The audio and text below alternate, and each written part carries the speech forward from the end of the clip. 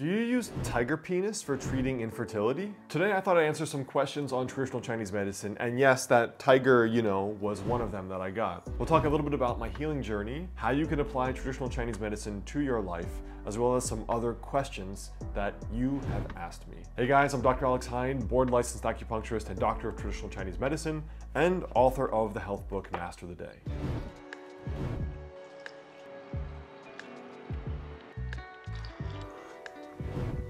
And let's go. Question number one.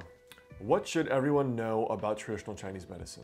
You know, I think that depends a lot because there are lots of misconceptions, but for the people who have been treated by someone who practices Chinese medicine, it's pretty incredible what it can do. I think the main thing that I want people to know is that it is a staggeringly clinically effective medicine for treating both chronic health issues as well as really acute ones. I mean, my best mentors are treating pneumonia, they're treating very, very severe viral infections, even bacterial infections, right? But one thing I would say is that in my observation, both being sick as the patient and now seeing patients myself, is that there is a real alternative to lots of the medications that people are taking. Just my observation. And there's evidence in the scientific literature as well that there are great options for women's health potentially instead of birth control, or for chronic migraines or chronic digestive issues, acid reflux, SIBO, bloating, for anxiety, for depression, for insomnia. So I think what I wish people knew is that traditional Chinese medicine is very clinically effective at treating those, and we get patients off those medications every single day in my practice. Just talked to someone yesterday, she had no clue that acupuncture could treat anxiety.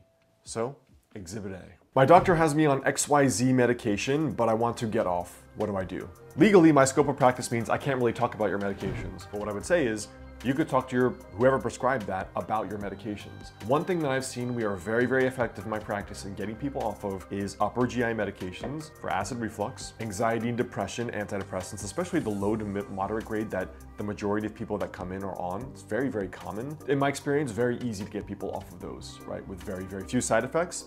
And in six months, they're doing better than they ever were because there's no healing on medications, right? Migraine medications, insomnia medications, other related mood issues, birth control pills for irregular menses or very painful menses. I mean, the most severe ones I see are related to endometriosis, and we still get amazing results with herbal medicine for endometriosis. So from my point of view, express those concerns with whoever gave you them and go see someone who actually treats these issues from an integrative point of view. We treat people in my practice all day long on medications, so we're very well trained to know exactly what to look for, what to expect, if they're tapering off with our primary care doc, how do we combine the two, are there interactions? So find someone who knows what they're talking about in that regard, and most of the time, it's pretty easily doable. What can I do for a leaky gut from a traditional Chinese medicine point of view? This is a great question because gut problems are probably in the top three conditions that I see every single day. So difference in traditional Chinese medicine point of view versus even naturopathic or functional medicine circles. Number one, you have to understand what your constitutional type is, and this is basically your genetic type.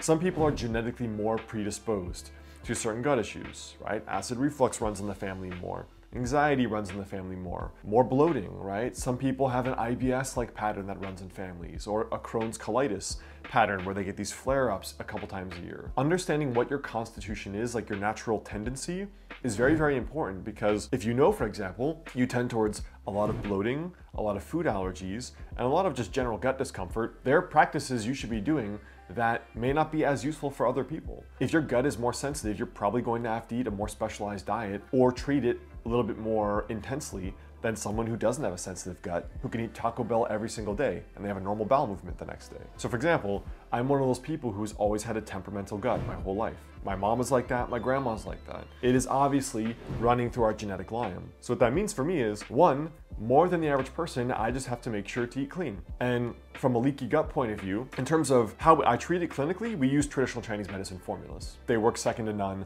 You don't have to dramatically change your diet if you're taking formulas because we're actively rebuilding the microbiome, healing up the mucous membranes, etc. But from a lifestyle point of view, the top few things that I see are eat what I call a low dampness diet. The foods that basically harm what we call the spleen, the stomach the most are the ones that generate too much, basically the sugars. So too many carbs, too many starches, too much sugar, liquid carbs like beer, wine, sweet tea is another big one. Basically, a very low carb diet for a short period of time is very, very effective for like SIBO-like symptoms for lots of kinds of people. And also, this is basically an anti-dampness diet as we call it in traditional Chinese medicine. So eating a very low carb diet for a period of time is often very, very helpful on top of taking these traditional Chinese medicine formulas. Now, if you guys actually aren't sure where your symptoms are coming from, whether it's leaky gut or something else, make sure you download that free root cause quiz. I've just put it together. It's a beautiful 10 to 12 page handout with a quiz for helping you suss out where your symptoms are coming from from a traditional Chinese medicine diagnostic point of view. We also have like a whole list of videos related to that organ and that symptom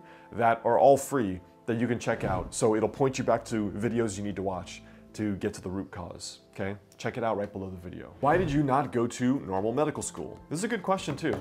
So when I was young, basically, I always assumed I was going to go into like some kind of in integrative medicine program. I didn't know if that was gonna be getting a traditional MD degree and then going into something integrative, or if I was gonna go right into something integrative off the bat. I thought, you know, when I was 18, I looked at these schools to be a naturopathic physician because education is quite legitimate. I mean, in the states that naturopathic doctors are licensed, they can prescribe medications, right? They have the same scope as a medical doctor in those states. And they heavily focus on integrative or herbal therapies, for example, other kinds of therapeutic approaches. So I assumed that's always what I was going to do. But it was really my journey of getting sick. So it was really that journey of me in my early 20s getting lots of GI issues, going through the medical specialist routes, and then realizing that while the doctors I saw were nice people, nothing they told me helped me, which was a little difficult because it produced some cognitive dissonance. Like, how could I honestly dedicate the next 10, 15 years of my life, energy, and money to something that didn't help me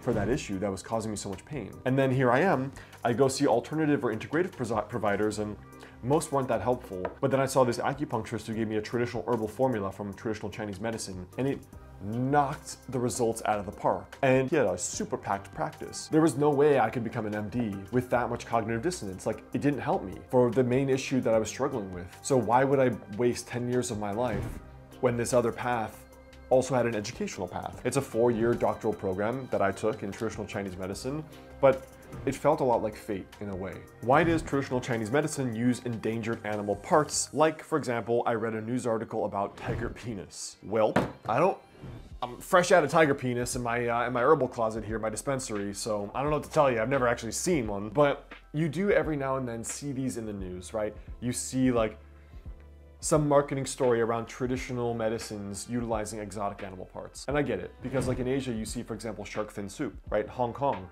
this is a delicacy. What's sad is that they'll even take the sharks, slice the dorsal fin, chuck them back in the ocean, and they'll just die. They'll do this by the tons because shark fin soup is some kind of weird delicacy with some purported abilities, right? This is not traditional Chinese medicine. This is like folk medicine meets, you know, just placebo effect, basically, right? Some of these traditional, you know, animal parts do possess benefits. Consuming the organs of, you know, male animals is done all over the world in traditional tribes because it's said to help with fertility. It may be true that they contain a lot of testosterone, right? Eating the testicles of an animal. But we don't in traditional Chinese medicine, and there aren't really that many exotic animal parts as you might think. In my program, there are no pangolin scales, there's no rhino horns, there's no tiger parts. None of that did we learn. Every now and then you get something exotic, like back in the day, rhino horn was used. It probably has real benefits if people actually studied it from a from a traditional Chinese medicine point of view. But you remember like during COVID, there was this whole thing about we got it from the wet market in Wuhan, right? Totally a marketing story because when it was revealed that it actually was a leak, this whole like, let's just blame it on the Chinese, right? It was perfect for the presidency at the time because they could use that as like a media manipulation. Oh, it's like those uncivilized Chinese eating bats out of the the freaking night market. When you look at the actual practice of it, day to day, especially practitioners in the US, licensed and trained in the US, are not using exotic parts, right? Like I'm certainly not. I hope that answers that. Some of that is like a traditional folk practice that is not really the same medical practitioners that went to a medical school like we all did, right? A four-year physical location with clinic shifts and everything. And some of it's just media manipulation, right? Like the whole Wuhan wet market thing. It was a carefully crafted media story to make people believe a certain thing and to tarnish like basically the Chinese because we have this whole war with trade war with them. What I observe is when you see people talking about exotic animal parts like tiger penis, it's more often thrown at this disparagingly as opposed to it being really with some evidence behind it. All right, guys, that's what I've got for the Q&A today. Let me take a final sip of this pu'er here. Don't forget, I see a limited number of new patients every month in my clinic in Los Angeles or virtually via telemedicine. You can always go to dralexheyne.com forward slash clinic to reach out to my staff, or there's a link right below in the bio here. And I also have a great related video on some of these questions right up here.